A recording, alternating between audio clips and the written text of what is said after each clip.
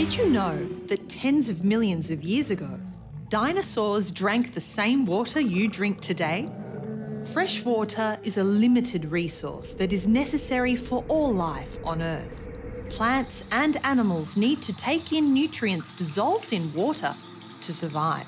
The molecular structure of water is two hydrogen atoms plus one oxygen atom, represented as H2O.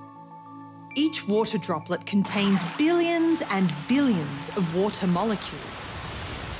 The water cycle describes the way water moves through the Earth's crust, atmosphere, and oceans. The sun's heat causes liquid water to evaporate from lakes, rivers, and the ocean as a gas, water vapour.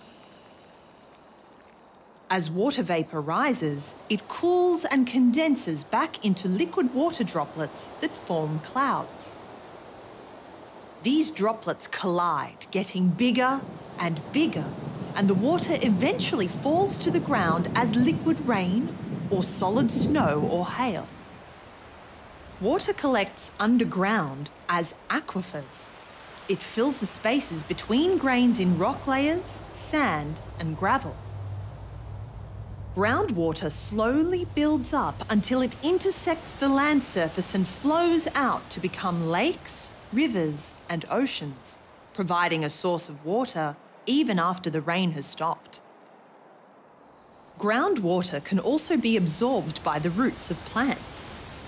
Water travels up through the plant to its leaves where it evaporates and turns into water vapour in a process known as transpiration.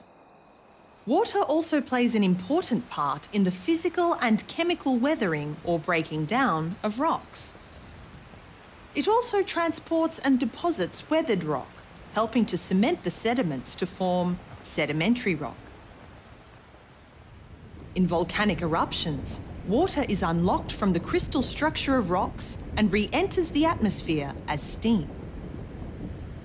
And so the water cycle begins again.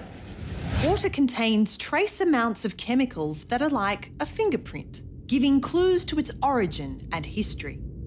By looking at the differences in elements like oxygen, geologists can work out how old water is, how long it's been in this form on Earth, and where it came from.